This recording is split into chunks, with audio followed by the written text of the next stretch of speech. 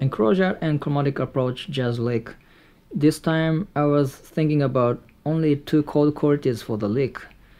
One's E7 and one's A minor. The wax over the 251 chord changes, even though just three chords. Uh, let me show you how it works and the components of it. The first one it goes from G to G sharp, which is chromatic approach towards the third major third of the E7 chord. And this was almost like arpeggio of E7 itself. G sharp, B, D, and E. Major third, fifth, flat 7 and root. And F is flat 9. This is enclosure. F, D sharp, E. So that part is very strong or E7 sound. The next one goes this part like I feel the strong resolution towards A minor. Fifth of A minor which is E and the second fourth towards minor third and then major mm. 7 G sharp. Ninth to the root A. That's another enclosure towards the A minor chord. Then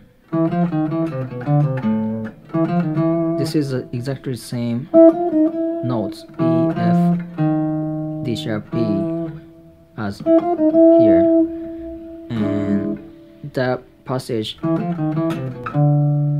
Because also it has a B and D notes um, which is a chord tone of E7 I feel like this is like E7 quality and at the end A minor. So let me show you how it works with the uh, chords when there's a comping playing. One two three so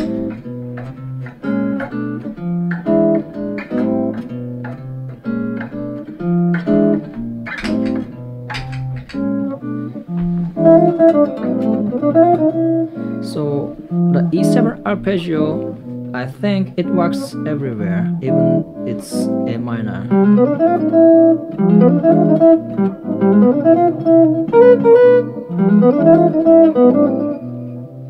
Okay if I do that um, I'm not thinking about the chord changes too much. Like I'm not following the changes but I'm implementing E7 on top of the chord changes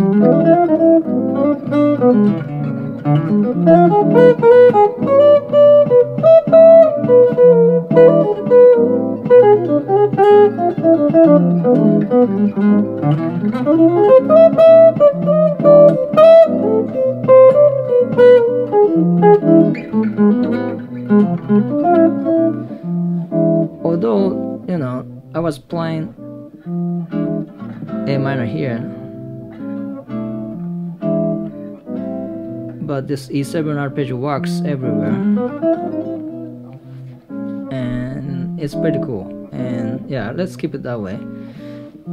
Okay uh, I'm gonna continue do the A minor or enclosure approach using the triad of A minor A and C and E It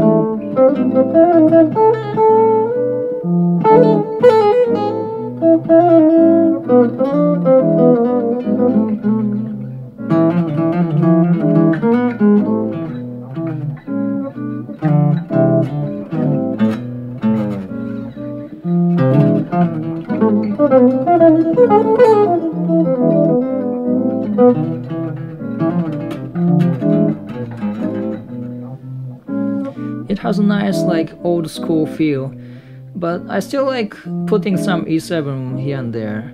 Although again, like I was only playing a minor uh, quality, I was trying to aim, aiming you know A minor, but the comping is playing E7 and B minor as well. So you know that that's how it works. Um, somehow. Oh, okay.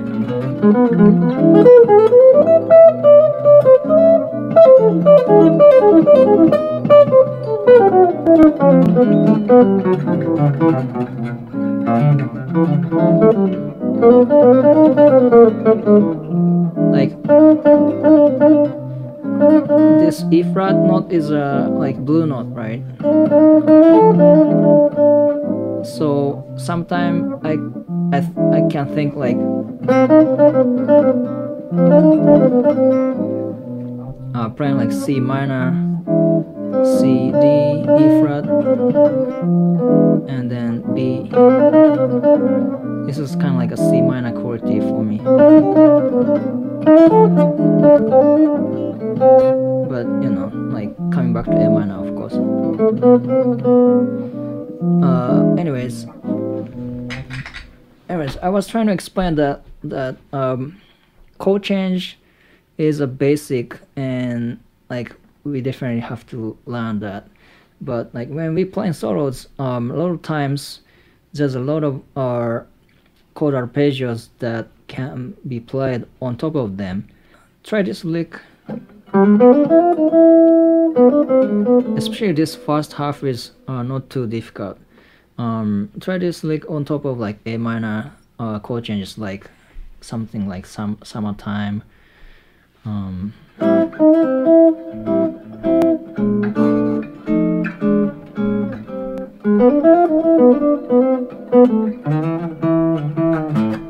yeah, I think it works. And see, you know, you can get away from the chord changes and play something on top of it. And that kind of gives me the feeling of the freedom a little bit more than uh, playing the changes all, all the time. Although it's very important to become able to play changes. Especially it works for the comping for sure. So yeah, let me know what you think in the comment if this is something new or if you know that already or if you want to hear something more advanced etc etc so thank you for watching again and i catch you in the next video